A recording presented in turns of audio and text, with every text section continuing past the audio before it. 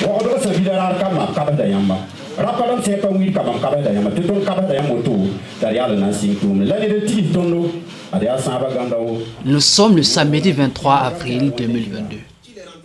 Dans cette cour du foyer du renouveau au quartier Wayalguin de Ouagadougou, la quatrième édition des Grandes Nuits des Contes bat son plein. Et à propos, mon grand-père disait que si tu tombes d'un vélo, tu peux te relever. Si tu tombes du dos d'un cheval, tu peux encore te relever. Si tu tombes même du toit d'une maison, tu peux te relever. Mais l'homme dont le pain de la femme terrasse, ah. Une initiative du conteur professionnel burkinabé qui est Tenga Peglouende Girard alias KPG.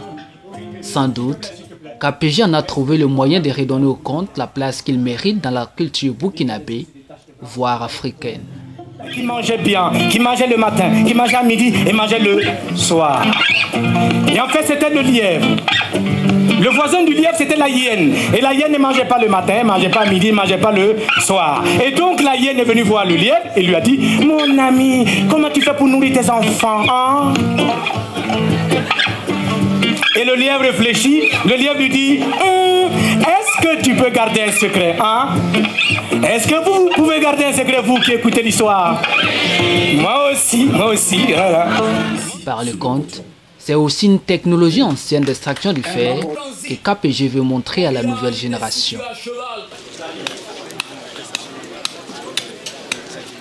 Cet événement culturel a traîné des centaines de personnes, notamment des jeunes venus se ressourcer. Des contes de KPG et la prestation des artistes de renom, comme le prince national des Altinos, ont tenu le public en haleine pendant plus de deux heures. La clôture de cette quatrième édition des Grandes Nuits des Contes se tiendra à Arbolé le 30 avril 2022.